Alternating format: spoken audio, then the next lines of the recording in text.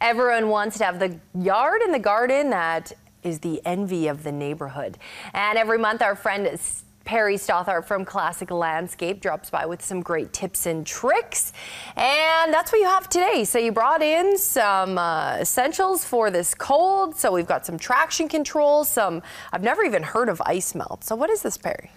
Yeah, you know, I, I, wish we weren't talking about minus 8,000 temperatures that are coming later this week, but it is here finally. And, and, being prepared is obviously a big part of our winters. And, and I, I, think for most of us, you know, ice melt and, and traction control really talk about it's not a chemical product, it's a product that just gives you some grip on the ground. Okay. And um, when we think about ice melts, they are a chemical product. Uh, uh, generally speaking, um, they're some kind of chloride-based product. So, you know, sodium chloride would be like the white rock salt that you see. Mm -hmm. Much more common out east. We do have it here, but it's not a good idea to use it ever.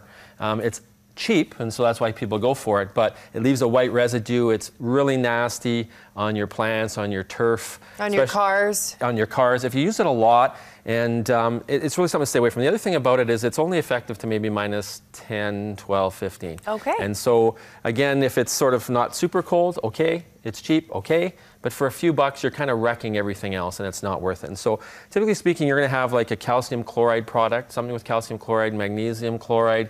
Um, they are uh, more effective to colder temperatures. Like a product like this, uh, they've got here, you know, effective to minus 30 or even below, which wow. is really the top end that you'll see for ice melt products. Okay. Um, you know, the trade-off again, you always hear about you know being pet safe, and these products are, but always use as directed. You can't go crazy even though you have a lot of ice melt. You want to be you know, maybe a quarter to half a cup per square yard uh, when you're using these ice melter products for sure. Cool.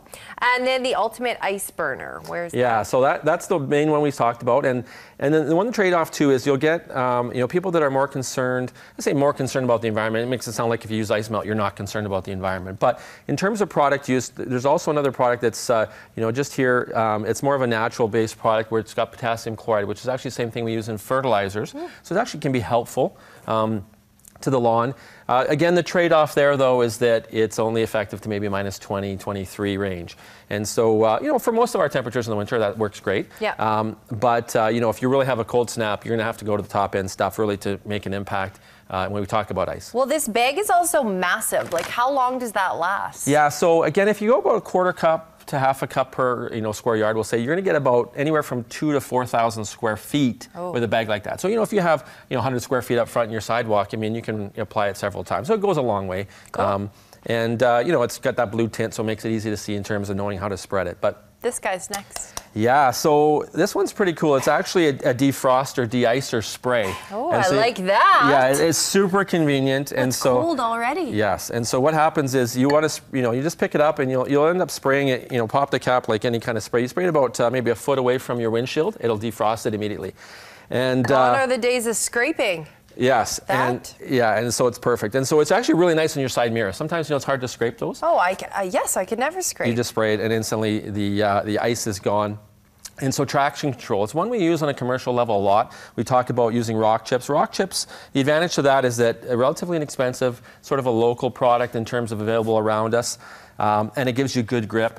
What's really taking over now, though, is though a lava rock-based product. It has more surface area. It's actually better for the soil. You can use it as a soil enhancer cool. in gardens and stuff like that. Um, and you know, harvested out of the mountains in uh, western BC.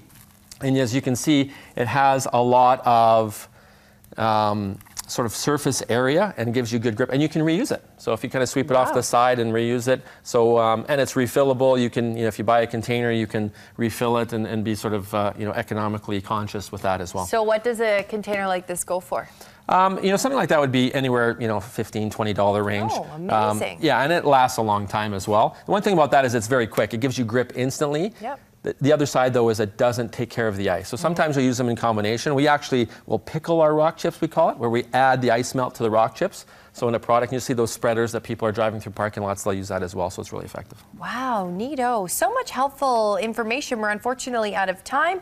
I know we wanted to talk about landscaping this upcoming season. I'll be back.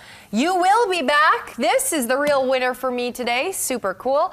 Um, for more great ideas on how you can check out Classic Landscape and Classic Gardens at their two locations. For more information, visit them online at either classicgardens.ca. Stay with us. We're back after the break.